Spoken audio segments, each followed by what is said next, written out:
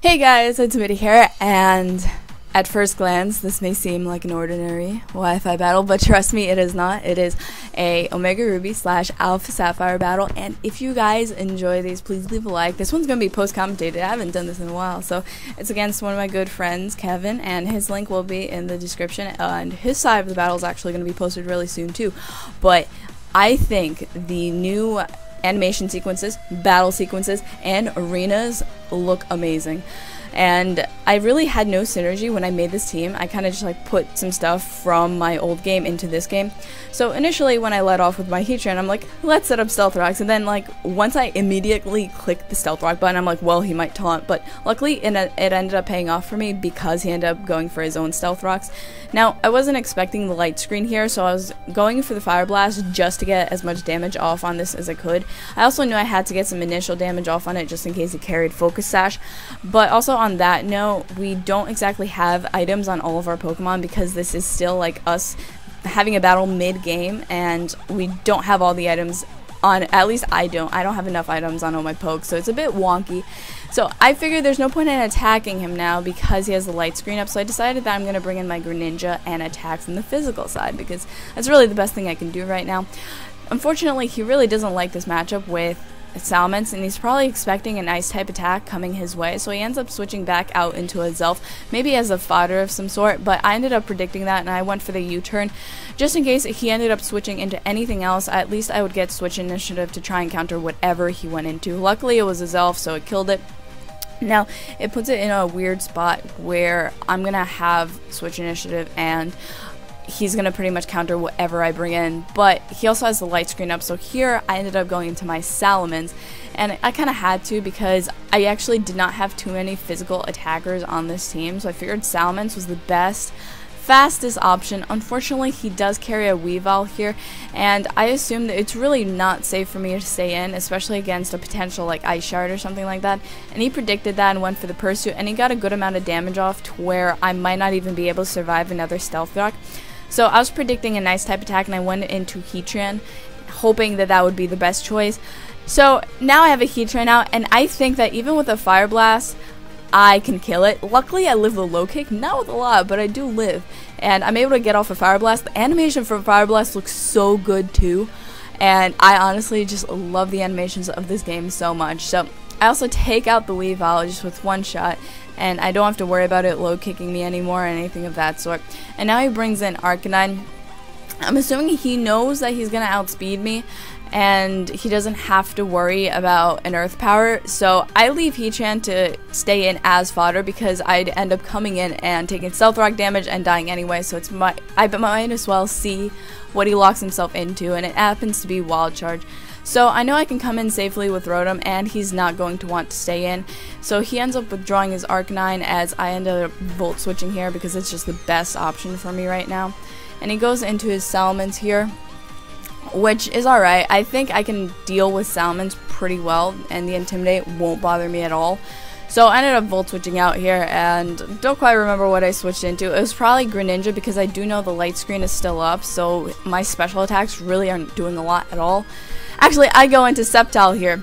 I thought that Salamence was low enough to where I can Mega Evolve and get my, whatever, get my um, boost and then still be able to take him out. But the problem is this Sceptile I have is the only Sceptile I had from my last game. Its moveset happened to be Energy Ball, Leaf Storm, Hidden Power, I don't know what. It might have been Fire. I was really hoping that that um, Energy Ball would have taken him out. Unfortunately, his Dragon Pulse is going to take me out.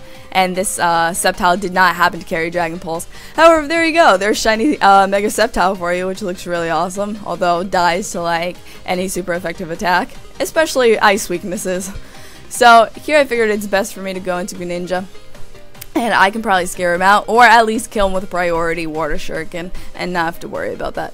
So, I ended up going for a Water Shuriken and just taking him out. And at the same time, like, uh, my intuition kept, like, thinking that these Pokemon still had items but at, but we did not have items at the time. However, just like instinctively, I'm like, well, that has a choice scarf. That has, you know, that and that, but it really didn't. So he goes into Rotom, and I'm able to get off a U-turn and get off a lot of damage, and his Sitrus activates, which kind of makes it really annoying. But now I figured that anything I bring in, um, is it's probably best for me to bring in Salamence. Salamence's is like my fodder here, and if I don't survive the Stealth Rock, at least I'll see what he was planning to go for.